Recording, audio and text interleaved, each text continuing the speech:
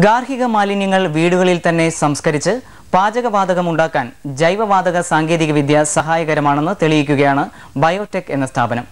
വികേന്ദ്രീകൃത മാലിന്യ സംസ്കരണ പദ്ധതികൾ കാര്യക്ഷമമായി നടപ്പിലാക്കുന്ന ബയോടെക് തദ്ദേശ സ്വയംഭരണ സ്ഥാപനങ്ങളുമായി സഹകരിച്ച് നിരവധി ഗാർഹിക മാലിന്യ സംസ്കരണ പ്ലാന്റുകൾ ഇതിനോടകം തന്നെ സ്ഥാപിച്ചു കഴിഞ്ഞു. തിരുവനന്തപുരം ബ്യൂറോയുടെ റിപ്പോർട്ട്. മാലിന്യങ്ങളുടെ ഘടന മനസ്സിലാക്കി അവയ്ക്ക് അനുയോജ്യമായ സംസ്കരണ മാർഗങ്ങൾ ബയോടെക് അവലംബിച്ചിരിക്കുകയാണ്.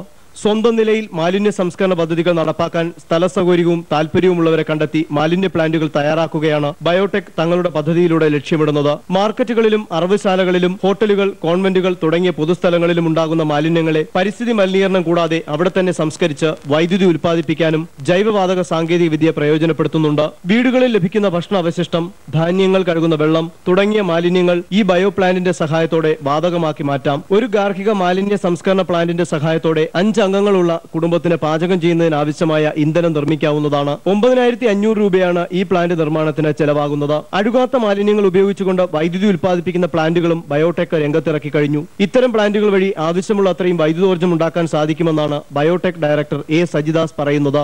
എല്ലാത്തരം മാലിന്യങ്ങളും മലിനജലവും ഒരുമിച്ച് സംസ്കരിക്കുന്ന ഒരു സംയോജിത മാലിന്യ സംസ്കരണ പദ്ധതിയും ബയോടെക് വികസിപ്പിച്ചെടുത്തിട്ടുണ്ട്.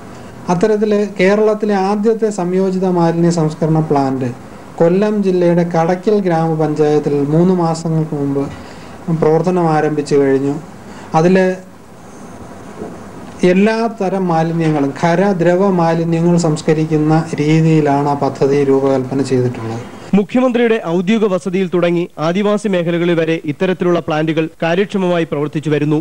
ബയോടെക്കിന്റെ സാങ്കേതിക സഹായത്തോടെ സംസ്ഥാനത്തെ പന്ത്രണ്ട് ഗ്രാമപഞ്ചായത്തുകളിൽ മാർക്കറ്റ് മാലിന്യങ്ങൾ സംസ്കരിച്ച് വൈദ്യുതി ഉൽപ്പാദിപ്പിക്കുന്ന പ്ലാന്റുകളും സ്ഥാപിച്ചു കഴിഞ്ഞു. ഇത്തരം വികേന്ദ്രീകൃത മാലിന്യ സംസ്കരണ പദ്ധതികൾക്ക് സർക്കാർ വേണ്ട പ്രാധാന്യം കൊടുക്കുന്നില്ലെന്ന പരാതിയും ഇവർക്കുണ്ട്.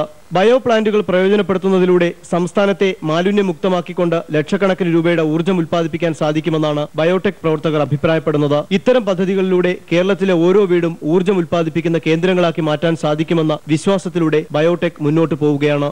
സുനിൽ അരുമാനൂർ ജീവൻ ന്യൂസ് തിരുവനന്തപുരം.